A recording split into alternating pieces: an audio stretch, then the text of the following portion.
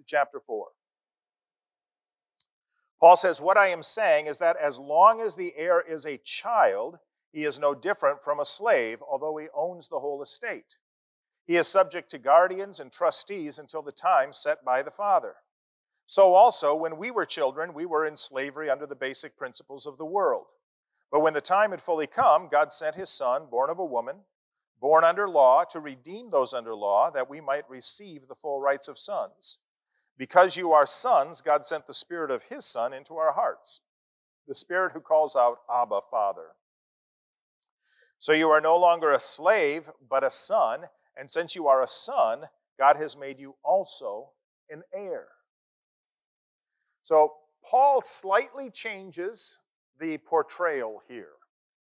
In the previous verses, his point was that we became sons and who will inherit through Jesus Christ. And now Paul is expanding that picture a little bit. In the Roman law, adulthood was at 14 years old. So a 14 year old son could inherit. But until the age of 25, he would have guardians and trustees assisting him. But until 25 years old, he would have guardians and trustees to assist him, to guide him, and to watch over him because he wasn't considered able to really take care of the estate and take care of himself. Now, the father, in his will, could adjust that age. And we have historical examples of fathers in their will saying, I want my son to be free of his trustees and guardians at the age of 20. And so he is given the full inheritance at the age of 20. But Paul is saying here that before we came of age, before we inherited, we were children under the basic principles of the world, he says. What does that mean? Well, the word that is translated there means to march in order. Uh, you could think of it as having a schedule, a regiment that you followed, is the idea. So the word means a schedule, and he seems to be referring here not only to the traditions of Judaism, but he is referring to that, because he says a little bit later, he says, You don't want to be enslaved to those things all over again, like observing special days, months, seasons, and years. But he probably also has in mind any kind of effort or religion to justify ourselves. So anything other than Christ that you depend on or rely on, some kind of structure or order that you think is going to make you right with God. And Paul says that we were slaves to that. So the idea seems to be that when we were still children, not sons who have received their inheritance, we were controlled either by the traditions and demands of Judaism or some other system or plan for being good enough. Before you came to Christ, what did you depend on to get you to heaven? Well, we have something that we hold on to, something that we put our trust in that's going to get us there. Okay? And what and if you're going to put your faith and confidence in that, whatever that is, you become a slave to that, right? You become a slave to that.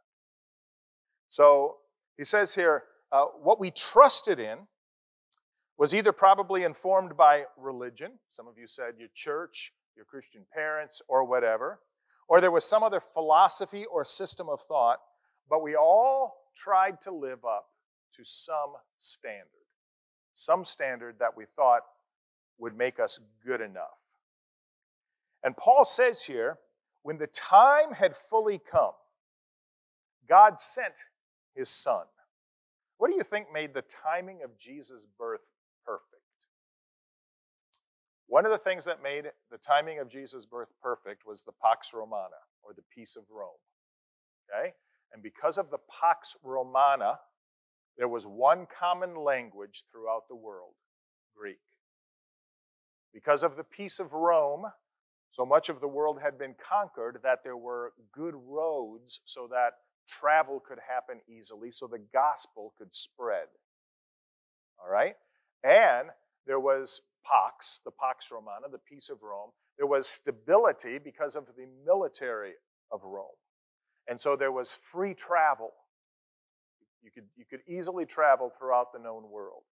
Also, uh, at the time Jesus was born, the Jews had established synagogues throughout the known world. Okay? What was, what was Paul's practice when he first took the gospel to a town or a village? Went to the synagogue first, right? First to the Jews, then to the Greeks, then to the Romans, right? And so he would go and he would declare Jesus to people who had a background. And so often when you read the book of Acts, what does it say? That there were some people who believed. In that, out of, out of that synagogue, there were some who came to faith in Christ. And all of a sudden, you have a nucleus or a kernel of believers there in that town or in that city. Also, uh, the Jews had already translated the Old Testament into Greek, the Septuagint. Most think it was probably uh, completed around 200, 250 before Christ. So you had all of those things in place that made the birth of Jesus and the gospel easily spread. It could go out. So God sent Jesus at the perfect time, at the first opportunity, Paul says, to redeem. What does that word mean? Redeem? To buy, to purchase, yes to redeem those under law that we might receive the full rights of sons, he says. So we were slaves. He says we were in slavery under these basic principles of the world. And God sent his son under law to redeem those under law that we might receive the full rights of sons. Why was it necessary for Jesus to be born into our same slavery? and he had to go into it in order to buy us out of it. And Paul says here, he says, because you are sons, this is verse, chapter 4, verse 6, because you are sons, God sent the Spirit of His Son into our hearts, the Spirit who calls out, Abba, Father. Uh, what do you know about that word, Abba? Yeah, a term of endearment. It's like daddy. And so, because we are sons, God has sent the Holy Spirit into our hearts, and that gives us intimacy with God.